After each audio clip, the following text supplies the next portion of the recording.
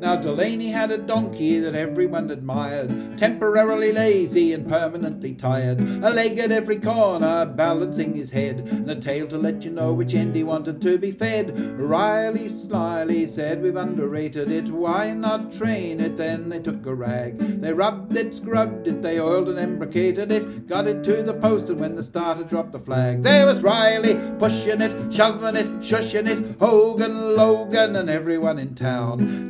Up attacking it and shoving it and smacking it, they might as well have tried to push the town hall down.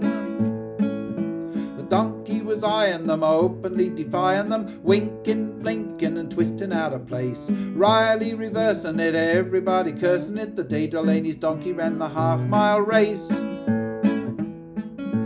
muscles of the mighty, never known to flinch. They couldn't move the donkey a quarter of an inch. Delaney lay exhausted, hanging around his throat, with a grip just like a Scotsman on the five pound note. Starter Carter, he lined up with the rest of them. When it saw them, it was willing then. It raced up, raced up, ready for the best of them. They started off to cheer it, but it changed its mind again.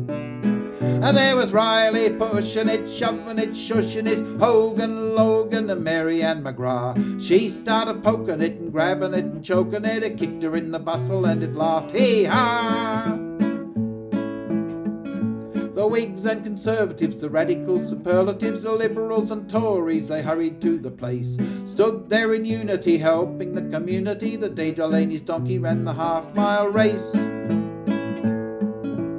crowd began to cheer it, then Rafferty, the judge, he came up to assist them, but still it wouldn't budge. The jockey who was riding, little John McGee, was so thoroughly disgusted that he went to have his tea.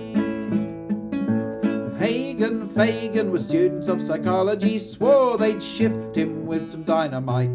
They bought it, brought it, then without apology, the donkey gave a sneeze and blew the whole lot out of sight. There was Riley pushing it, shoving it, and shushing it, Hogan, Logan, and all the bally crew. Police and auxiliary, the garrison artillery, the second Inniskillings, and the lifeguards too. They seized it and harried it, they picked it up and carried it, cheered it, steered it to the winning place. Then the bookies drew aside, and they all committed suicide. The day Delaney's donkey won the half mile race.